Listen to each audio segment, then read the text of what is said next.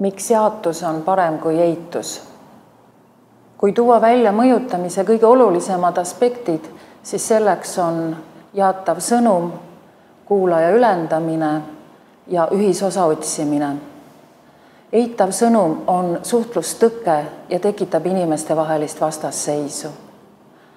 hea näide on Martin Luther Kingi kuuekümne kolmanda aasta kõne, mis räägib unistusest. Selle asemel, et öelda, meile ei meeldi rassiline diskrimineerimine ühiskonnas, lõi Martin Luther King visiooni ühiskonnast, kus kõigil on parem elada.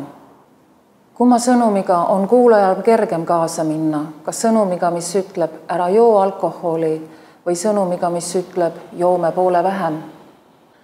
nii saame teha ka argivestluses, selle asemel, et öelda, ma ei ole sinuga nõus, saan öelda, mul oli oluline kuulata sinu arvamust.